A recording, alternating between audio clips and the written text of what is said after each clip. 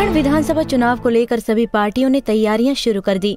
16 दिसंबर को होने वाले विधानसभा चुनाव को लेकर प्रथम रेंडमाइजेशन के तहत मतदान कर्मियों का प्रशिक्षण शुरू कर दिया गया।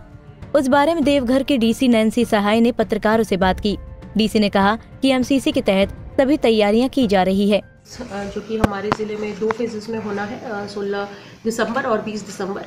फोर्थ फ़ेज़ और फिफ्थ फ़ेज़ फोर्थ फ़ेज़ में देवघर और मधुपुर विधानसभा और फिफ्थ फ़ेज़ में सारठ विधानसभा का चुनाव होना है। उसी से संबंधित क्योंकि अब एमसीसी की घोषणा हो चुकी है ज़िले में पूरे राज्य में आदर्श आदर्श आचार संहिता लागू है और उससे संबंधित जो भी अभी गतिविधियाँ हैं या फिर जो भी अपडेट्स हैं उसके बारे में एक आप लोगों को जानकारी देने का उद्देश्य था।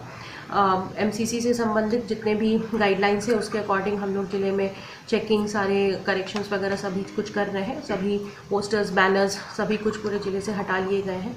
और आने वाले समय में हम लोग ट्रेनिंग्स जो हमारे मतदान कर्मी हैं, उनका फ़र्स्ट प्रशिक्षण आज शुरू किया गया है। आठ तारीख से तेरह तारीख तक उनका प्रशिक्षण चलना है, जो कि आर मित्रा में हम लोग जिसका संचालन करवा रहे हैं। इसके अलावा ज़िले में मतदाता जागरूकता के लिए विभिन्न स्वीप एक्टिविटीज़ विभिन्न प्रकार से हम लोग मतदाताओं को जागरूक कर रहे हैं। सी विजिल जो ऐप है, जिसके माध्यम से लोग कंप्लेन कर सकते हैं किसी प्रकार का एमसीसी वायलेशन या इलेक्शन से संबंधित कोई भी कंप्लेन है, वो सी विजिल का यूज़ कर सकते हैं। उसको हम लोग ज़्यादा से ज़्यादा लोगों से डाउनलोड करने के लिए प्रेरित कर रहे हैं। कॉलेजेस में कैंप्स और अन्य पब्लिक प्लेसेस में भी इसका प्रचार प्रसार किया जा रहा है।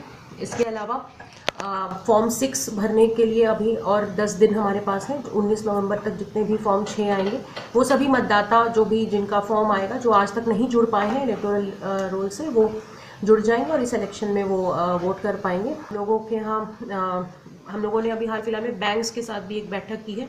सभी बैंक्स को इलेक्शन एक्सपेंस मॉनिटरिंग या एक्सपेंडिचर मॉनिटरिंग के लिए जो गाइडलाइंस है इलेक्शन कमीशन के, वो उनको विस्तृत रूप से बता दिया गया है कि किसी भी प्रकार का संदेशपद या बड़ा ट्रांजैक्शन अगर उनकी जानकारी में संज्ञान में आता है तो वो हमें इन्फॉर्म करेंगे, जो कि ई का गाइडलाइन कहता है। इसके अलावा आने वाले समय में जो भी एक्टिविटीज़ प्लान है एज़ पर ईसीआई के जो रूल्स हैं, जो हमें विभिन्न लेवल्स पे जो तैयारियाँ करनी है वही गाड़ियों से संबंधित ईवीएम से संबंधित, मतदान कर्मी से संबंधित, वो सभी हम कर रहे हैं और जो भी कंप्लेंट्स आ रहे हैं एमसीसी के, उसके लिए फ्लाइंग स्क्वाड्स का टीम गठन किया गया है। स्टैटिक सर्वेलेंस टीम्स हमारी काम कर रही हैं, जो कि वाहनों की चेकिंग आते जाते वो तीन पालियों में उनके शिफ्ट्स लगाए गए हैं और वो निरंतर गाड़ियों की चेकिंग व्हीकल फ्रिस्किंग कोई भी संदेशपद मूवमेंट ऑफ़ कैश लिकर या अन्य कोई पदार्थ, उन सभी की वो चेकिंग कर रही है, उसका रिकॉर्ड मेंटेन किया जा रहा है।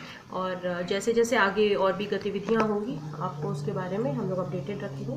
और आशा है कि हम लोग एक शांतिपूर्ण और निष्पक्ष चुनाव करें उन्होंने कहा कि एमसीसी के तहत सभी राजनीतिक दलों, मीडिया कर्मियों को आवश्यक दिशा निर्देश दिए गए। वहीं चुनाव को लेकर वाहन चेकिंग अभियान भी चलाया गया। पंजाब केसरी टीवी के लिए देवघर से विजय कुमार की रिपोर्ट।